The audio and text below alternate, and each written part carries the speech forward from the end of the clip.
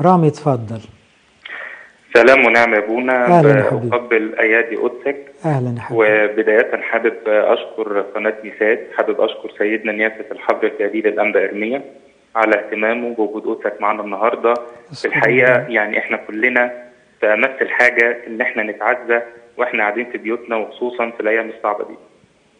ربنا في الحقيقة يفكها حابب أسأل قدسك في موضوع غضب الله. أيوه. كتير اليومين دول بنسمع عن فكرة إن الوباء اللي إحنا فيه ده اللي بيسود العالم كله ما هو إلا غضب من الله. فبعد إذن قدسك اتكلمنا عن فكرة غضب الله وهل فعلا الوباء اللي إحنا فيه ده هو غضب من ربنا؟ بص حبيبي ما أبعد أحكامه عن الفحص وطرقه عن الاستقصاء. من عرف فكر الرب؟ لكن في آيات كتيرة وفي أوضاع كتيرة تخلينا نقول إحنا ليه مستبعدين غضبه؟ يعني لما يقول في روميا واحد غضب الله معلن على جميع فجور الناس واسمهم.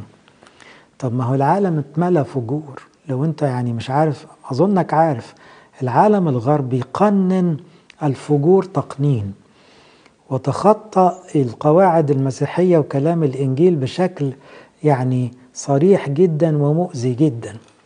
طب ما هو لازم يبقى في غضب لأن ربنا بيكره الشر.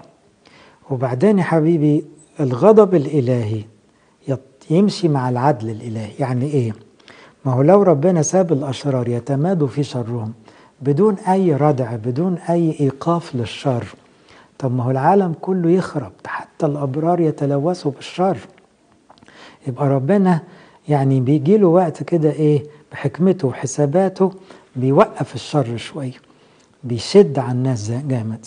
لكن هو نفسه الأب الحنين اللي عاوز الكل يرجعوا له. إحنا ليه بننزعج من كلمة غضب؟ غضب إذا كان غرضها خلاص العالم ونهاية الشر دي ما تزعلش حد. تزعل ليه؟ لأن إحنا نفسنا لما الأشرار بيفتروا قوي بنستنى عدل ربنا بنستنى تدخل ربنا. طب اسمح لي عشان أنت فتحت موضوع حساس و... وأنا عارف أنه بعض الناس متلخبطة لأنه الغضب يترجم عند البعض كأنه كراهية. لا ما فيش كراهية عند ربنا خالص لكن ربنا له كل المجد ديان. المزمور بيقول إله يسخط كل يوم الله قاض عادل ويسخط كل يوم. إذا صفة السخط الإلهي أو الغضب موجودة في ربنا ما نقدرش نلغيها وإلا نبقى بنلغي كلمات صريحة في الكتاب. لكن مش بنفهمها كأن ربنا ده شراني ولا قاسي. طبعا لا هو ربنا اللي بنحبه وبنقول له أبانا الذي في السماوات. وهو ربنا يسوع اللي تجسد وفدانا بحب. وهو اللي مطول باله على الخطاة. وإحنا كلنا تبعهم. الابن الضال والسامرية والمخلع والمولود أعمى. لكن مع كده ربنا نبهنا وقال لنا خافوا. خافوا من الهلاك الأبدي. وكلمنا عن جهنم. وقال إن أعصرتك عينك اقلعها. خير لك أن تدخل الحياة أعور من أن تلقى في جهنم النار ولك عينان. تعال مثلا نقرأ في أشعية تسعة. في تسعة يقول إيه؟ يقول أرسل الرب قولا في يعقوب فوقع في إسرائيل. محدش سامع ربنا. فيقول الأراميين من قدام والفلسطين من وراء يأكلون إسرائيل ده على شعبه يعني. مع كل هذا لم يرتد غضب. يعني يأدبهم ما بيتوبوش. ويده ممدودة بعد يعني مكمل في الزعل. بعدين الباراجراف اللي بعده الجزء اللي بعده الشعب لم يرجع إلى ضاربه ولم يطلب رب الجنود. يقطع الرب من إسرائيل الرأس والذنب ويبتدي يتكلم عن ضربة تاني. وفي آخرها يقول إيه؟ مع كل هذا لم يرتد غضبه بل يده ممدودة بعد. وبعدين يقول لأن الفجور يحرق كالنار يعني ربنا مش عاوزهم يوصلوا النار جهنم. بسخط رب الجنود تحرق الأرض ويبتدي يتكلم عن أوبئة وحاجات شديدة ويقول مع كل هذا لم يرتد غضبه. ليه لم يرتد غضبه؟ ويده ممدودة بعد لأن الناس متكبرة. مش عاوزة تتوب؟ طب لو الناس خافت وتابت ورجعت لربنا وعرفت قد إيه ربنا رحمته واسعة ما هو يوقف زي ما كان بيوقف كل التأديبات اللي جت قبل كده في الكتاب.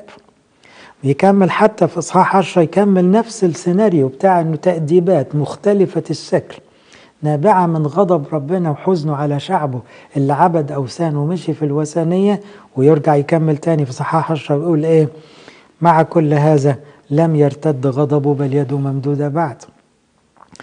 الكتاب المقدس حتى في العهد الجديد ذكر غضب الله. قال من لا يؤمن بالابن يمكث عليه غضب الله. ده في إنجيل يوحنا. واتكلم في العبرانيين مخيف هو الوقوع في يد الله الحي.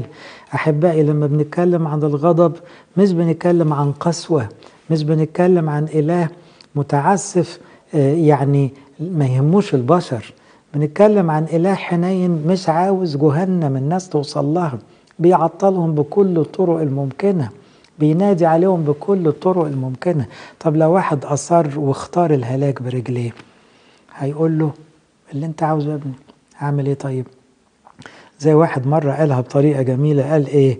قال بتوع ربنا زيكم كده يقولوا له لتكن مشيئتك. هيروحوا السماء لأن دي مشيئته. إنما في ناس أشرار يفضل ربنا يحايل فيها طول عمرها وبعدين ربنا اللي يقول لهم في الآخر إيه؟ لتكن مشيئتك. يعني إيه؟ اخترتوا الهلاك وأصريتوا عليه حاولت أعطله عنكم هو ده بيتكم يترك لكم خرابا. خلي بالكم المسيح لما قال الكلمة دي كان بيبكي. ومع كده خربت أورشليم. يبقى هنا هذا الغضب الإلهي مصحوب بحب حقيقي لكل الناس. فخلونا ناخد المعنى كما قصده الكتاب. لكن ما ينفعش نلغي الكلمة من قاموس الكتاب الصريح جدا واللي كلام فيه حقيقي مباشر. دكتور مجدي.